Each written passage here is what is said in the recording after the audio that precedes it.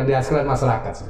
Baik Bapak, berarti dipastikan untuk ke depannya eh, sektor pariwisata akan tetap berjalan meskipun perlahan-lahan. Iya, pasti saya pikir itu Pak. Bahkan ya, sebagaimana eh, kebijakan Bapak Gubernur ya, hasil dari eh, apa webinar kemarin dengan konjen eh, RRT di Denpasar. Jadi dalam persiapan peningkatan kunjungan wisatawan untuk mencapai kunjungan 3 juta wisatawan di 2023 itu akan ada penerbangan langsung ya dua penerbangan langsung langsung dari China ke NTT tentu hubnya pasti eh, kota Kupang bisa juga nanti di Labuan Bajo.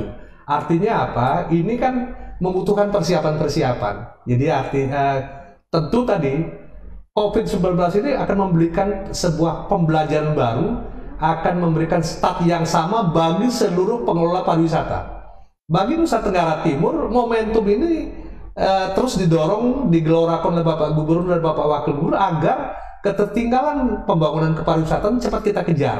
Salah satu tadi beliau sejak awal menjabat sudah mengingatkan tentang pentingnya gerakan budaya bersih.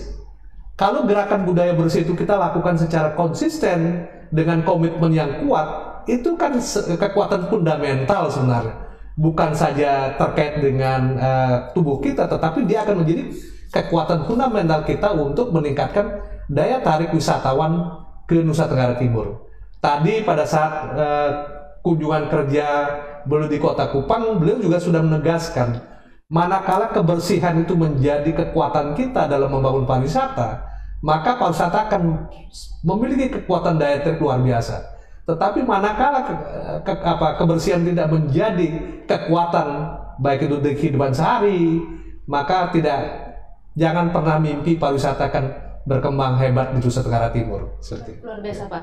Nah Tribuners, ternyata eh, kita mendapat ilmu yang baru dari eh, Bapak Kepala Dinas kita untuk meningkatkan sektor pariwisata kita. Kita juga harus menerapkan budaya bersih.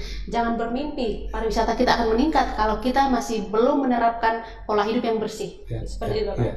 Ah, kemudian eh, saya juga penasaran kira-kira berbicara tentang pariwisata, destinasi pariwisata sebenarnya di seluruh NTT itu ada berapa jumlahnya Bapak?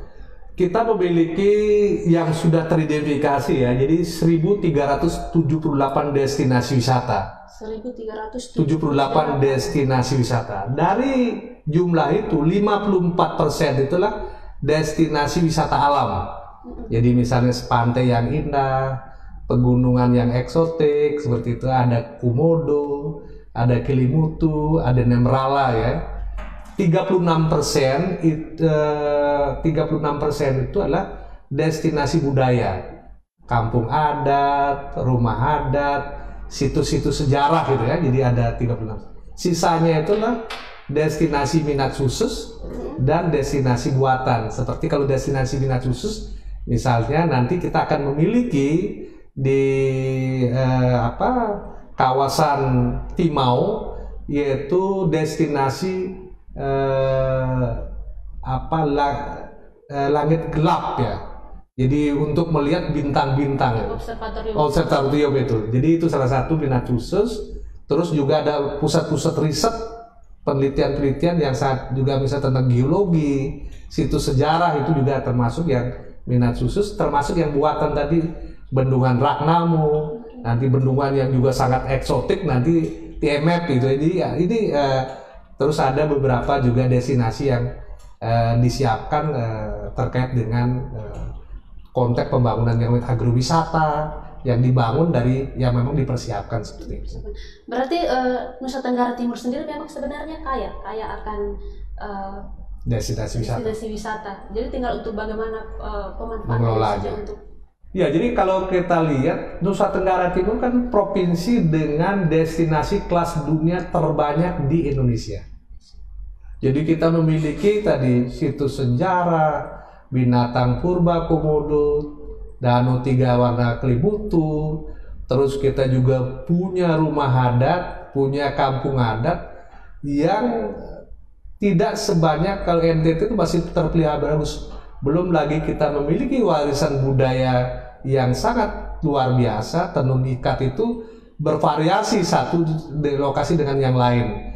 Belum lagi nanti akan ada eh, apa potensi-potensi wisata baru herbal karena wisatawan sesungguhnya itu kan dia akan mencari berwisata untuk meningkatkan kualitas hidup.